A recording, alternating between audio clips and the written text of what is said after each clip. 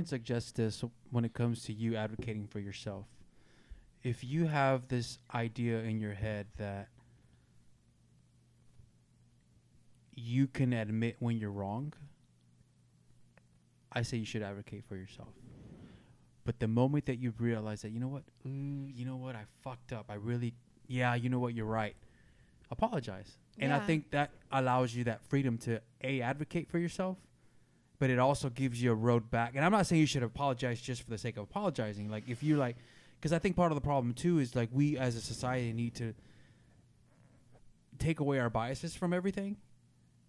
Like as I like to call it, leave our ego to the side, and truly express what we're feeling, in a manner to which it's like it's open to us being wrong, because it a, it gives you that mindset. Where like you know what, you know what, y- you know I felt, for example, I felt hurt. I felt hurt by what Ash was talking about, or what she the way she said something to me. But she didn't mean it was me. It was my. It was my. It was my insecurity. It was m- I fucked up that day. Yeah.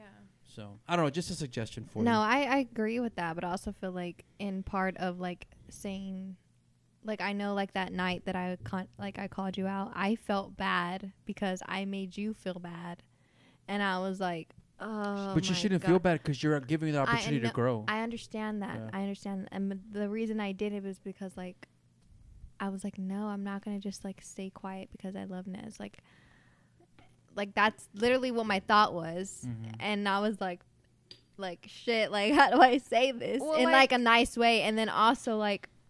When I told you that those things, and then you were like, "Well, Ashley, you did all these things," I was like, "Oh shit, you're right." Like, Well, and you know, I got caught out too, and I was like, oh, saying sorry sucks. Like, because I made you feel bad.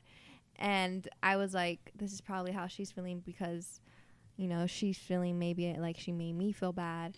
And I'm like, okay. but saying Well, sorry. saying, I, f- I felt bad saying sorry because I knew like I had hurt your feelings. If that makes sense. Well, like for me, like the reason why I was upset that you called me out was we're all different.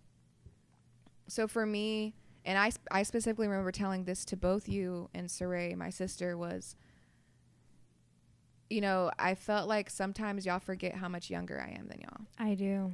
I will not lie. I forget that. Yeah. and it's a compliment for me because I feel like I'm a lot more mature for my age than most 21 year olds. But at the same time, the way it made me feel that night was I've already gone through years of you and Saray acting the exact same way I was acting. yes. So for me, I Hey, felt you were looking at him like, what the fuck is wrong with y'all? I was. I literally was like, "Are you fucking kidding me? Like y'all are both calling me out, and I've listened to y'all cry and bitch, and y'all were in the same I position can I, was in." relate to that feeling. Not necessarily when it comes to the context of the conversation, but like for me, it's like not to, to cut you off, but for me, like, well, God forbid I'm having a fucked up day. Right? And Yeah. that's how I felt initially. I was just like, I can't believe these girls are like calling me out when uh-huh. I've been there for them in these moments and never called them out. But at the same time, should I? Should I have called y'all out? yes. Yeah. You know? Yeah. And for me, like it wasn't just a lesson to take in that like I need to work on like my bitterness, but also maybe I need to find ways to be a better support for my girls yeah. because they need to be called out too. yeah, and you know, and you know what? Because look, some, some- Yes, like I know, I, uh. like I'm speaking for me. Like when I'm having my days, it is fucking illogical why I'm feeling a certain way. Yeah. So I almost li- I need like a hard Me like you know how you you need like a hard reset on your phone. I need mm-hmm. a hard reset that day. I'll, I I like to think that it doesn't happen a whole lot, but I have my days where I'm like, what the what the fuck is wrong with me? Yeah. Because this shit ain't the way I'm feeling right now.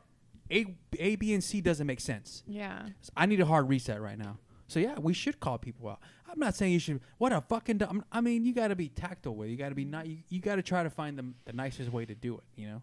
But yeah, because we got to build each other up. If mm-hmm. not, then where are we gonna be at? Yeah. You know.